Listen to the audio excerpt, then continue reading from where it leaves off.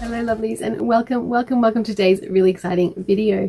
I'm so, so glad you came along because today we're going to be making a really, really amazing announcement. There's a really, really exciting event coming up next week and it's just such an amazing concept and I can't wait to be a part of spreading the news and getting that information out there. Lovely, lovely, lovely lady invited me yesterday, then again tonight there was an announcement. So the word is definitely being spread and I just hope that I can make some small contribution, maybe reach at least one or two people that can come along and join as well, especially if you're in Australia or New Zealand.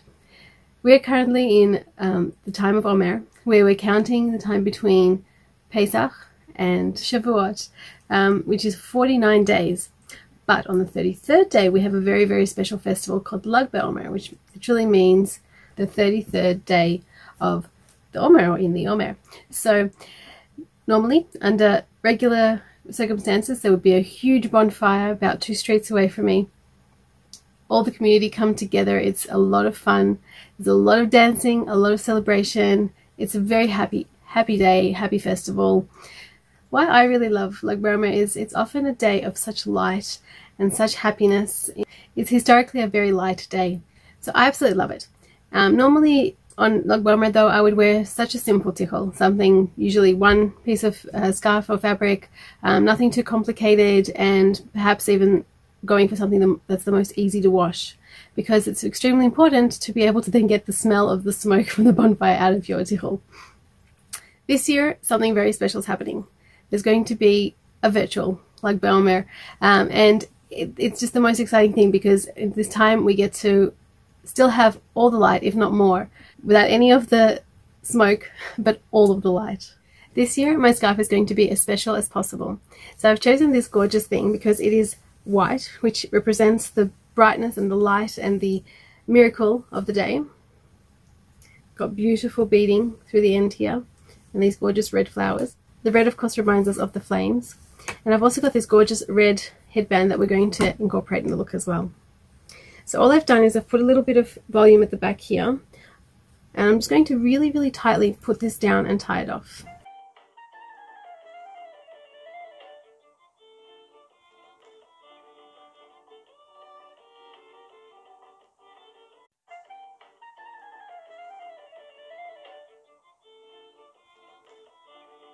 You don't have to. I did put mine a little bit asymmetrically, just ever so slightly. That's because I really want to feature these um, details at the very end. I'm going to take the two ends here that have stitching through them, just fold the scarf quite neatly, and take this across, letting it gather naturally, bringing the red out to the front of my look. So bringing it back around and feeding it through.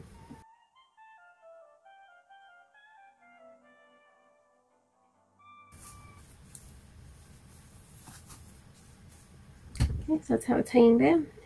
As soon as you're happy with how your tail is hanging, this is where you might want to incorporate a bit of jewellery. You can do maybe some pearls or um, a ribbon of some sort or a thinner scarf. I'm just going to use this black one as an example.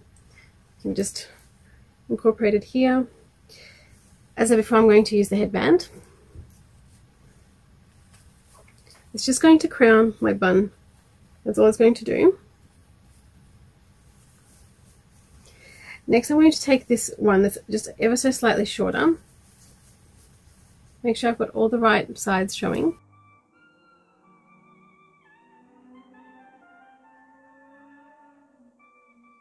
And I'm just going to take it through so it covers the part of the headband that I don't want to be seen, which is this little elastic bit here.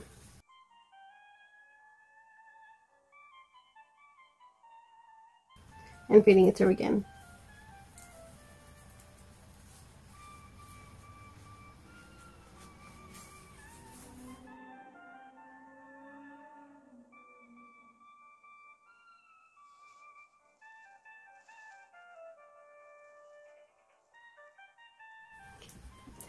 So what do you think of these? Is this a Lag BaOmer look? I'm very, very excited about this because I wouldn't normally wear an all white look. It's it's just not something that has come up. I usually have some sort of color in there or some sort of layering with the white, but I just absolutely love it. And I mean, we're quite deep into autumn here in Australia, but even so, this is just a very, very pretty, very pretty fabric and um, it very, very much speaks to me about the light and the flame and the warmth um, of this particular festival.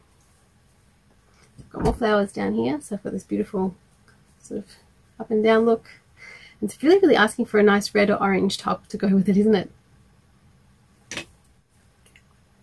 I hope you really loved tonight's tichel. I really gave it a lot of thought about what kind of style um, I would wear if I had the opportunity to wear any kind of fabric I wanted and really, really speak about the festival that we're celebrating rather than worrying about chasing kids, a hectic night, and of course the smells of the smoky bonfire, which I'll have to admit I will miss seeing because there is something very special about a burning, dancing flame. It, it's just so magical and it just opens up a whole other realm um, with its energy and its excitement. So I'm planning to light something um, here at home, in the backyard perhaps, something small, um, you know, even if it's a candle, just to get that flame going and um, really just remind us that it is still Lag BaOmer, which is a huge community event, but we're all celebrating by ourselves this time. And this is where I would love to tell you guys about this event that these wonderful people in my community have organized and they're just magical for even coming up with the concept. It's just a very exciting idea. So if you are in New Zealand or Australia and you want to be able to celebrate Lag BaOmer um, with your fellow Lag BaOmer celebrators, I would urge you to log in on the event. I'll have all the details listed below if you don't catch them here, but it's 18 for 18. It's a Facebook event. Um, it's happening at 1800 uh, at 1800 at, on Lag BaOmer, um, and it's going to be it's the most exciting to get 18,000 together for 18 minutes at 1800. So the address to reach this event is 18for18.com.au 18for18.com.au and I just really hope this is a success that people get all this beautiful light and all this inspiration from this event. There is no affiliation, there is no organization. This is just purely to spread love and spread togetherness in a time where we're all very much feeling apart.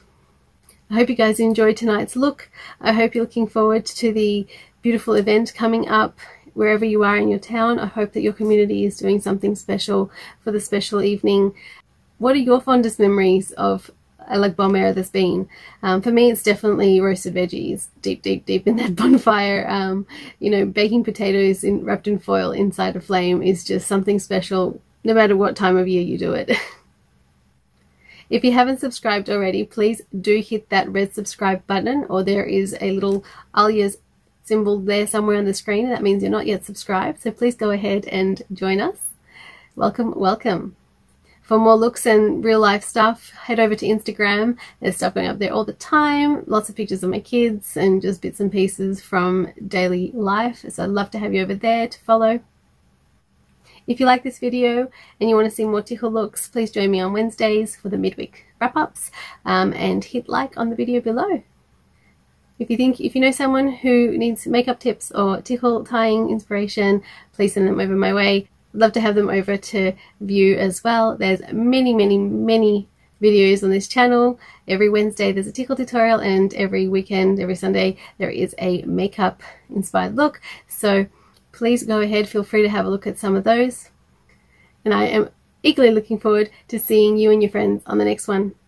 Happy Lag BaOmer everyone if I don't see you till then and wherever you are, I hope, I hope you're staying safe. Thank you for coming along on this journey with me. Bye.